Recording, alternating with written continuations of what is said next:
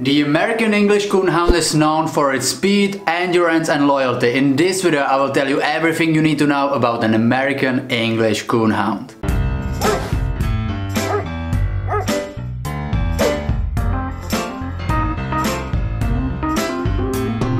Quick quiz before the video. Which USA president was one of the first owners of American English Coonhounds? A. George Washington, B. Andrew Jackson or C. Abraham Lincoln? Watch the video and find out the correct answer.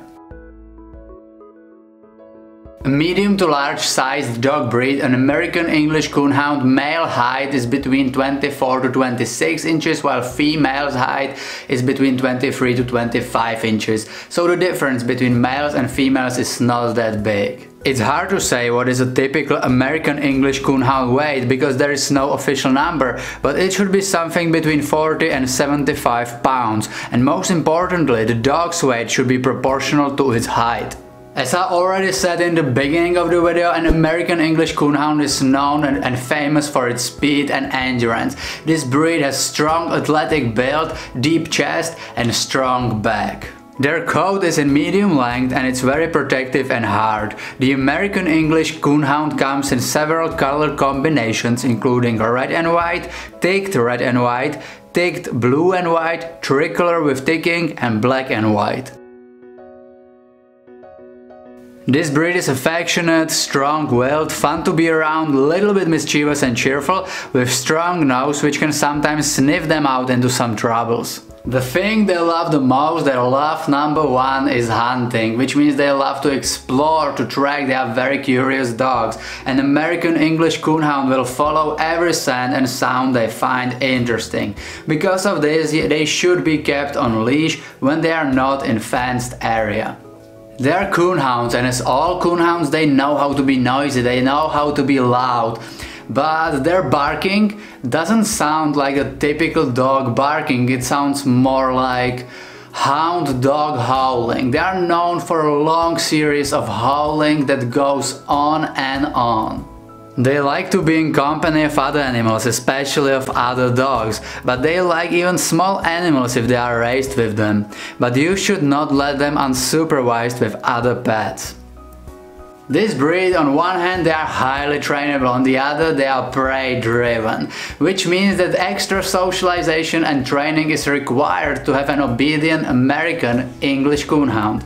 But if you will be patient and give them plenty of attention, this breed is among the sweetest for an active outdoor family.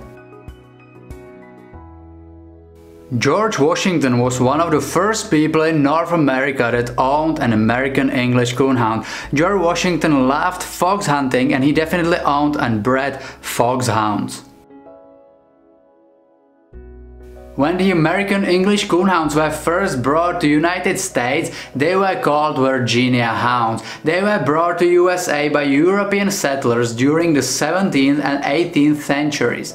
These dogs were bred to hunt raccoons and foxes, which means they had to be tough and adaptable to rough terrain. Just like other coonhounds, even American English coonhound can trace their ancestry to foxhounds. The Virginia hounds that were brought to United States by European settlers, as we said, uh, were crossed with American foxhounds. They were also bred with a dog with the best nose in the dog world, the Bloodhound. This made them much better at searching and hunting in general.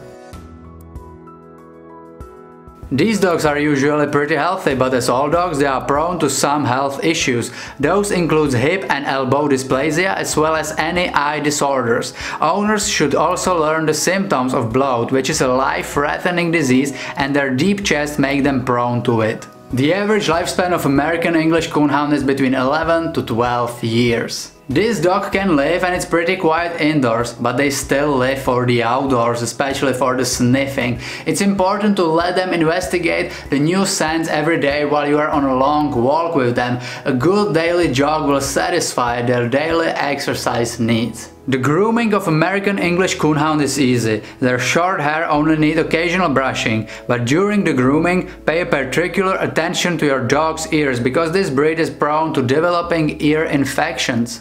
Tell me in comments what is your experience with an American English Coonhound and if you are new on this channel consider subscribing, turn the notifications on, check our Facebook and Instagram links are in description. Thank you for watching, see you in the next video.